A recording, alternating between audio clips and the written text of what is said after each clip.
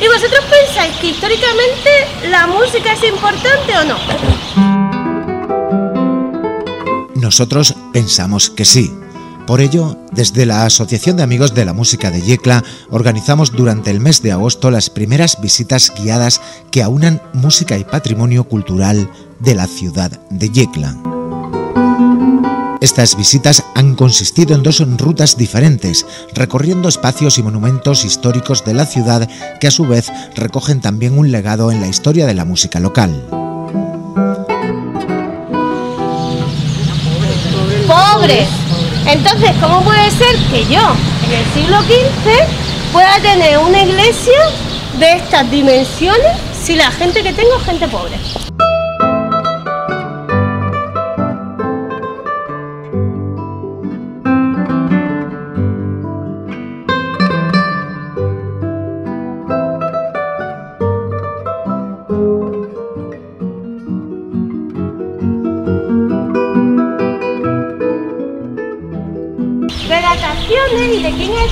Nosotros no sabemos nada, porque en el año 36 con la guerra civil la iglesia se quema, junto con todo el archivo parroquial. Pero los que somos historiadores tenemos una relación muy entrañable con las piedras y a veces no hablan. Entonces, poco a poco, si tú te vas fijando en estas piedras, te pueden decir cosas. Cuando yo estaba haciendo la tesis sobre la, la iglesia, dentro del campanario hay una escalera de caracol. ¿Vale? Esa escalera está hecha de sillares de piedra, es decir, de piedra. Y tú vas fijándote en las piedras y yo encontré la fecha de 1541.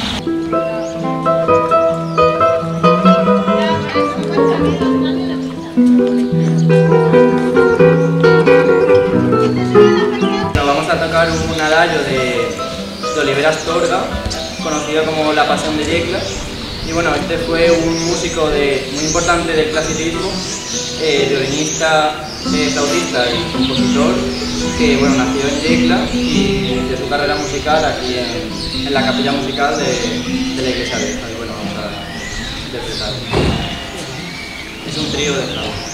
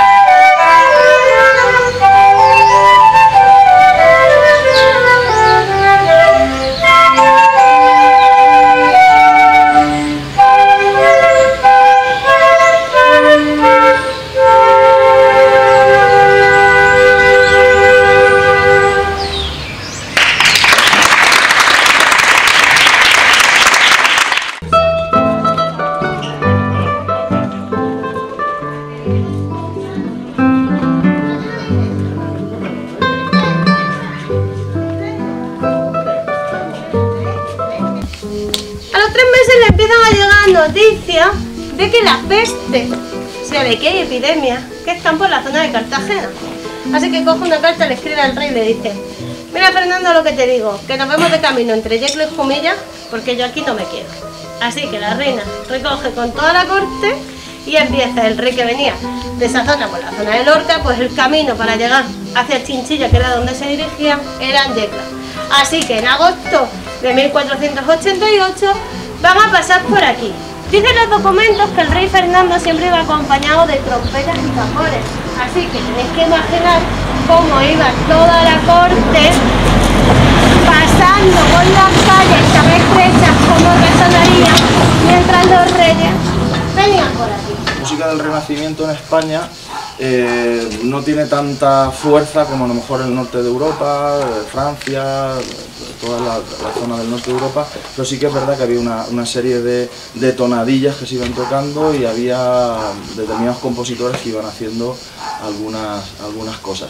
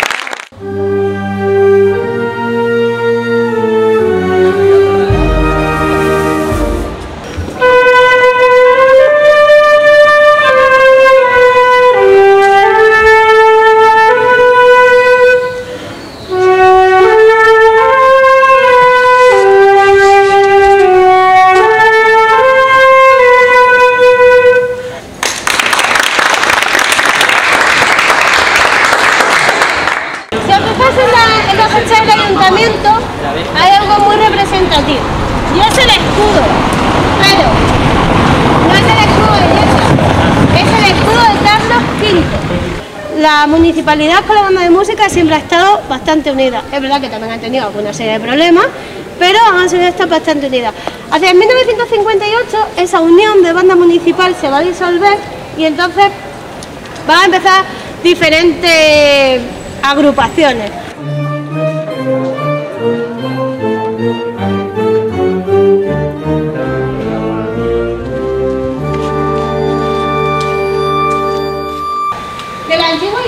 Siglo XVI nos queda muy, muy poquito, solamente ese arco y la hornacina que vemos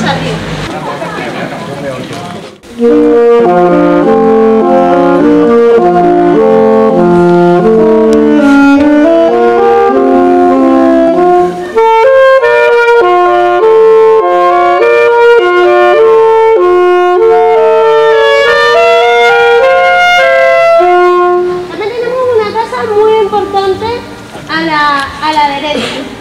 de un personaje también muy importante. ¿Qué hay actualmente en el Palacio de los Ortega? La Casa de Cultura. ¿Qué hay en la Casa de Cultura? El Museo El Museo Arqueológico Municipal que se llama...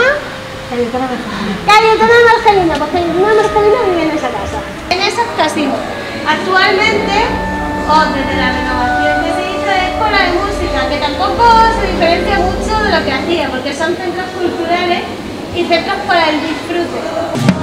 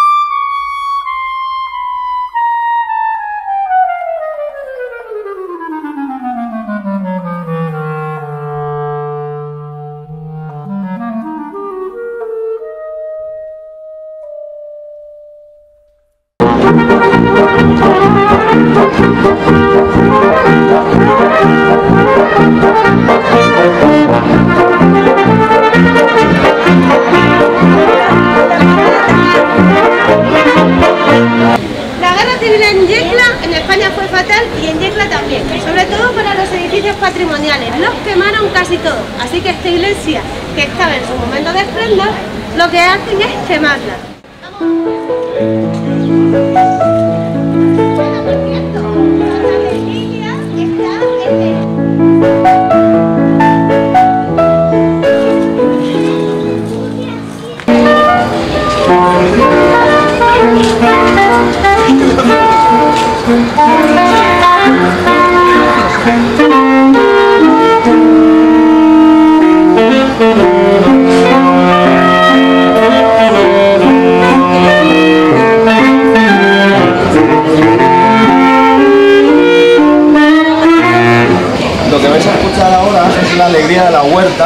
Jota de la Murcianica, que como muy bien ha dicho Alicia, fue estrenada en el año 1900 en Madrid y la soprano solista fue ni más ni menos que nuestra querida Concha Segura.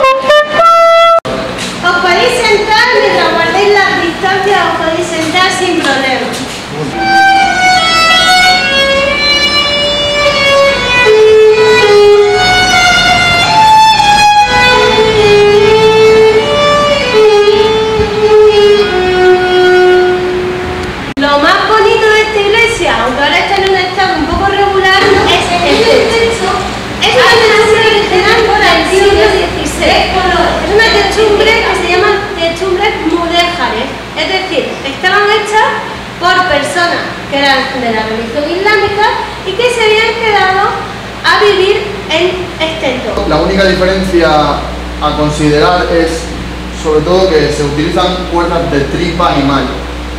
Por lo tanto el sonido es un poquito más profundo, el espectro sonoro es diferente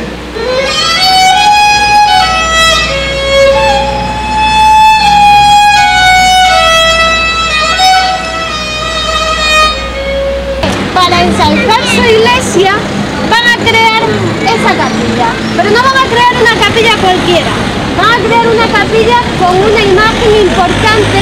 ¿Para qué? Para que su iglesia sea un centro de acogida de fieles.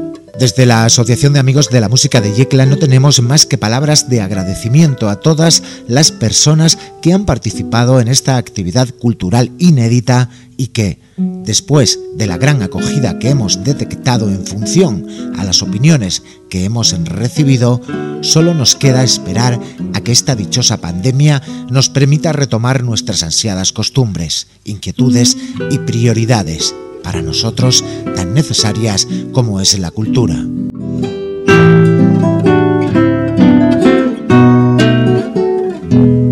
Contamos ansiosos los días para que podamos de nuevo, para todas aquellas personas que no han podido realizarla, convocar nuevas fechas, cuando las normativas sanitarias nos lo permitan. Mientras tanto, seguiremos trabajando para que así sea.